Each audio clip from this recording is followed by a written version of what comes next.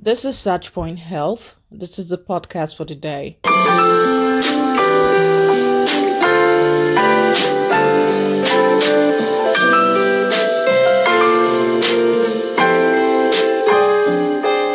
I want to talk about something I saw in the British Council that is um, very weird to me.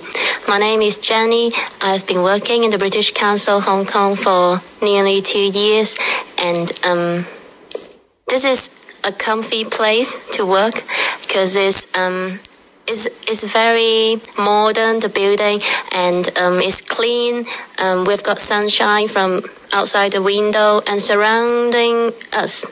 There are um, um, different international big hotels, and they are like um, Shangri-La, Conrad, um, and um, it's like a business area here and an ordinary office area. And um, last Sunday, I saw a very strange thing here. Um, we were having lesson with the children. They are four years old, and we were in a very big classroom. And because it's very big, so we separate it into two areas. That means we have got two classes there, two teachers, um, two different cl- uh, groups of, of children.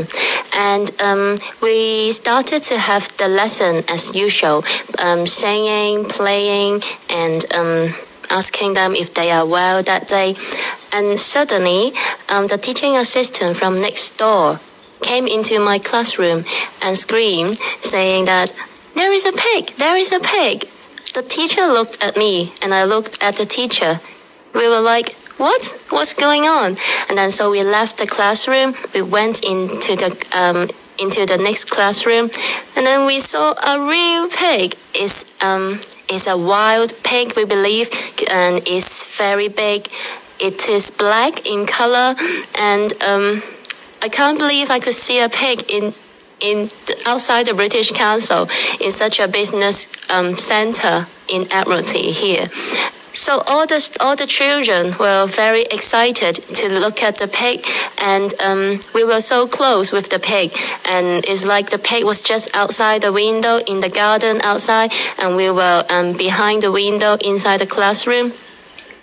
And because of the children, they were so excited and they were screaming and patting the window and scream, piggy, piggy, piggy. And then we were like, um, I think we did something that made the, the pig excited as well. It started to use its very flat, big nose to hit the window. It's like trying to enter the classroom to have lessons with us. And um, we messed around for about 10 minutes and then maybe the pig was uh, started to feel bored.